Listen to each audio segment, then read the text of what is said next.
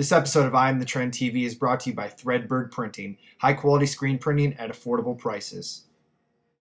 And Threads Not Dead, the essential ebook for dominating the t-shirt industry. Visit tinyurl.com slash T not D and use coupon code IATT20 for 20% off. What's up, guys? Adam from IamTheTrend.com and I Am The Trend TV with a t-shirt review for you from Eternal Clothing. Um, Eternal Clothing actually sent me those packages. Um, one has their special uh, limited edition, or I don't know if it's limited edition per se, but a special edition uh, packaging on the inside here. And this one does not. So I don't know if they sent me the same t-shirts or whatnot, but let's just grip it, rip it, get into it. Um, as I mentioned, Eternal Clothing is the name of said brand at hand. It's eternal-clothing.com if you want to check them out. So packaging, this one I know has nothing special um, except for the tees are poly bagged individually, which is cool, and also has the Eternal Clothing sticker on there. This is the one I really want to get into.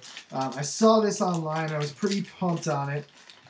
Um, they do have some handwritten address on, uh, on the mailer, which yeah, I don't really usually dig. But knowing how cool the packaging is inside, I would let it go. We have two canisters, or to what we have two shirts. Um, very cool packaging. I saw uh, Monsieur Eureka did some packaging like this in a, in a tube a long time ago and really dug it. Um, basically, these are supposed to be spray paint cans from what I'm uh, gathering here. Uh, but it shows all of their t-shirt designs on there. So taking a closer look here, um, basically have all of their t-shirt designs or a few of their t-shirt designs, maybe not all of them, um, listed on the side so you can maybe see what else they have to offer. And then the shirt that you bought, which this one is Greenpeace, on the front. Um, it is also says it is a spray paint can designed by Tim Clay, who Tim is the owner. Very cool creative packaging here. I'm not sure exactly how I put this together, but uh, very cool. Um, they have their story on there, which is awesome. Taking utilization of the space. So let's open up these tubes and see what we have. So that's what it looks like when you get into the inside. I imagine this is a sticker sitting on top, and it is. Yes, I am a genius. And pull that out of there. Rolled up shirt. Ooh, very soft printing. Noticing that right out of the gate. And this is their Greenpeace tee, which doesn't look very peaceful aside from the fact that it's a green gun. So uh, it's a green piece, if you will. Um, see here on the inside, you have the screen printed hang tag. I'm sorry, I'm sorry, screen printed T tag, which is great to see. Um, almost all brands do this now, and it's really worth the extra money. Um, you can add a little bit of extra branding in there.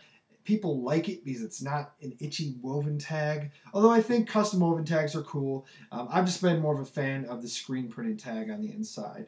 Um, all shirts are printed on Anvil 980s, from what I uh, gather. See what's in this one as well. Um, printing, like I said, is really soft on these. Well done on the printing. Let's see here.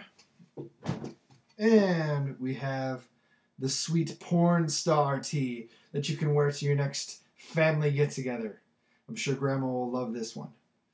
Um, moving along, let's just crack through all these real quick. I can tell you what, the printing on, on these are fantastic.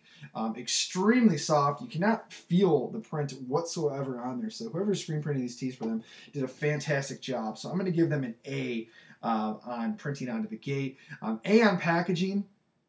Now, to mention, not all of the shirts come standard in their um, tube mailer. Uh, so this is not something that you're going to get unless you order it with that. I believe it's a few extra dollars to get that type of packaging. Um, it didn't say on the website. I was trying to find, or maybe it did say, but I just couldn't find it. Um, how much it costs to do that extra packaging. A little bit of a geisha design here. So they have a lot of different designs. Um, nothing too cohesive as a look. Um, the only thing that I'm noticing from one tee to the other is their E um, design is on every shirt in one way or another. On this one, obviously on the side of the building.